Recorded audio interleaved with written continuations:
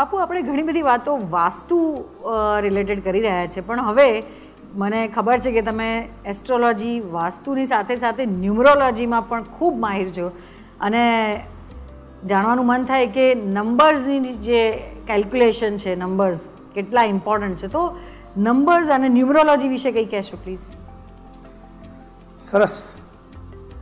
Astrology vastu અને નિમ્રોલોજી ઘણા બધા લોકોને ખબર નથી હોતી કે ન્યુમરોલોજી એટલે શું? ન્યુમરોલોજી એટલે એક પ્રકારનું અંકશાસ્ત્ર. અને સાહેબ, આ દુનિયા આખી આંકડાની સાથે ચાલે છે. આંકડા વગરની દુનિયા નથી. તમે જ્યારે જન્મો છો, ત્યારથી શરૂઆત થાય છે કેટલા વાગ્યા, કેટલા વાગે જન્મ્યો બાળક, બાળકની જન્મ તારીખ કહીએ બધામાં આંકડા આવે છે આવે છે ને આવે છે. પછી ભણવા ગયા, તો ભણવામાં કયા સ્ટાન્ડર્ડમાં ભણો છો? એ જોયું. કેટલા વર્ષનો થયો? એ જોયું. પછી મોટા થયા કેટલા કમાય છે એ જોયું. તો જ્યાં જાઓ છો ત્યાં દરેક જગ્યાએ આંકડા હોય હોય હોય ને હોય. તો આને કહેવાય અંકશાસ્ત્ર. ન્યુમરોલોજી એટલે અંકશાસ્ત્ર.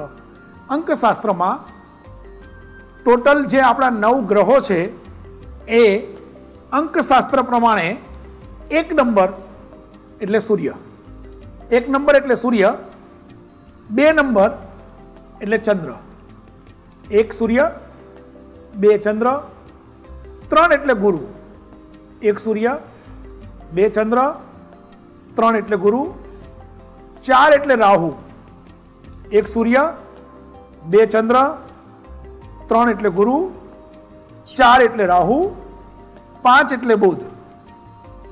એક સૂર્ય, બે ચંદ્ર, ત્રણ ગુરુ, ચાર રાહુ અને પાંચ એટલે બુધ. છ એટલે શુક્ર. સાત એટલે કેતુ, આઠ એટલે શનિ અને નવ એટલે મંગળ.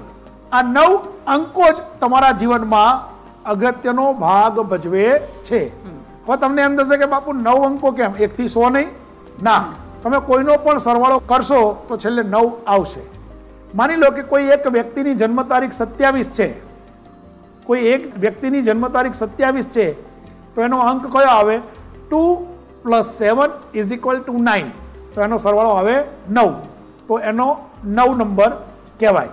એવી જ રીતે કોઈ વ્યક્તિની જન્મ તારીખ છે અઢાર, તો one plus eight is equal to nine એવી જ રીતે કોઈ વ્યક્તિની જન્મ તારીખ છે બાર, તો one plus two is equal to three તો આવી રીતે કોઈ પણ એક અંક તમે જ્યારે નીકાળો છો, એ તમારા માટે યોગ્ય નંબર કહેવાય. હવે ન્યુમરોલોજીમાં મૂળાંક આવે છે. માસાંક આવે છે, વર્ષાંક આવે છે અને ભાગ્યાંક આવે છે. કયું કયું આવે છે? મૂળાંક આવે છે, માસાંક આવે છે, વર્ષાંક આવે છે અને ભાગ્યાંક આવે છે. એક એક્ઝામ્પલ કે કોઈ એક વ્યક્તિ એક એક ઓગણીસો ને બ્યાસીના દિવસે જન્મ્યા છે. ક્યારે જન્મ્યા છે? એક એક ઓગણીસો ને બ્યાસીના દિવસે. તો એક એટલે એ જે દિવસે જન્મ્યા છે, જે તારીખે તો એક એનો મૂળાંક થયો કહેવાય. એક એક, એટલે પહેલી જાન્યુઆરી, એટલે પહેલી તારીખ એનો મૂળાંક થયો. એક એક એટલે જાન્યુઆરી જાન્યુઆરી એનો માસાંક થયો. અને ઓગણીસો ને બ્યાસી ઓગણીસો ને બ્યાસી એટલે one plus nine plus eight plus two, એટલે વન પ્લસ નાઇન એટલે દસ એટ એટલે અઢાર અને પ્લસ ટુ એટલે વીસ.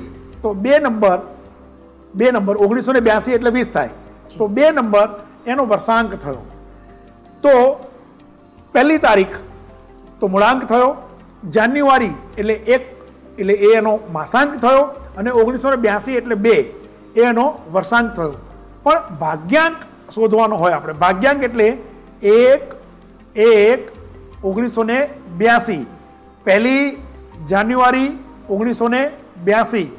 First January nineteen eighty two. એટલે એક જાન્યુઆરી એટલે એક પ્લસ એક, એટલે એક પ્લસ એક એટલે બે, ઓગણીસો ને બ્યાસી એટલે એક plus nine plus eight plus two, એટલે એ થયા વીસ. તો વીસ ને એક એકવીસ ને એક બાવીસ. બાવીસ એટલે two plus two is equal to four તો ચાર નંબર એનો થયો ભાગ્યાંક. તો આ યાદ રાખજો, દરેક વ્યક્તિને બે લકી નંબર હોય છે. એક મૂળાંક અને એક ભાગ્યાંક. કોઈને ઘણી વખત એવું પણ બને કે ભાગ્યાંક અને મૂળાંક હંમેશા કોઈકને એવું પણ બને કે એક જ આવે, બંને નંબર એક હોય, તો એના માટે એક લકી નંબર છે. બાકી દરેક વ્યક્તિ માટે બે લકી નંબર હોય છે. તો એક નંબર એટલે સૂર્ય છે, બે નંબર એટલે ચંદ્ર છે, ત્રણ નંબર એટલે ગુરુ છે, ચાર નંબર એટલે રાહુ છે, પાંચ નંબર એટલે બુધ છે, છ નંબર એટલે શુક્ર છે, સાત એટલે કેતુ, આઠ એટલે શનિ અને નવ એટલે મંગળ. આવી રીતે તમારી કુંડલી પ્રમાણે તમારું જે કેલ્ક્યુલેશન છે, એ કેલ્ક્યુલેશનમાં તમારો જે મૂળાંક અને ભાગ્યાંક આવે છે, એ પ્રમાણે એ નંબર તમારા લકી નંબર છે અને એ પ્રમાણે એ વાર તમારા માટે શુભ વાર કહેવાય છે. તો માની લો કે કોઈ એક વ્યક્તિની મૂળાંક કે ભાગ્યાંક એક છે, તો એના માટે લકી વાર છે રવિવાર. કોઈનો નવ છે, તો મંગળવાર.